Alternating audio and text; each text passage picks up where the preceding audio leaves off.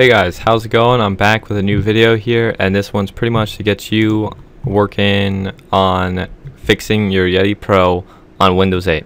As you can see, I'm on Windows 8 here and I am also recording on the Yeti Pro right now.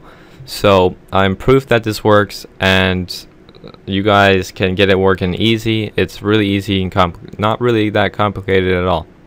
So we'll get right into it. So when you got the Yeti Pro, they told you to go down to drivers and they told you to download this one if you had Windows 8 with the lettering and etc.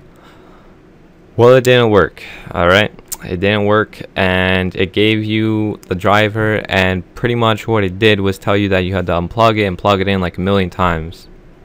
So you probably did that, it probably didn't work.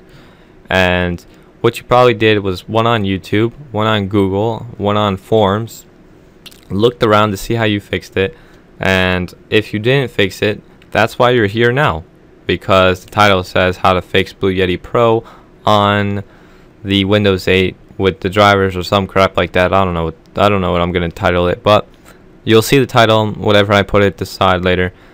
Anyway getting off topic. So basically what you want to do is you want to download this one the Windows 7 and driver 8 because it has the lettering so you download this one, you would extract it to your desktop if you want to have it on your desktop. If not, you can do it wherever the hell you want. But you download it, extract it, then it will come up like this, and this will have all the stuff in there. What you're going to want to do is you want to go to Setup right here. You want to right click, and then you want to go to Properties.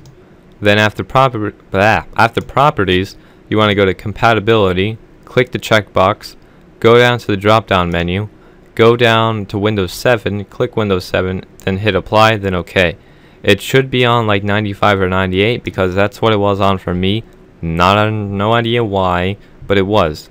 So that's what you change it to. You test it up again with this, and then or this. I'm not sure which one it is. I think you just do setup. You try it out again, and it will start working, and you'll be like, "Oh my God, he is the best.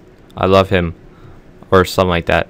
But guys, if this video helped at all, leave a like, share it to whoever else is having problems with this because I know there's people out there having problems because obviously people on forums are reposting it saying they can't figure it out. There's no videos helping anyone out on it.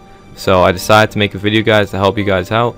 If you guys enjoyed it, liked it, or whatever, just leave a like and just hit subscribe for more crap or something like that.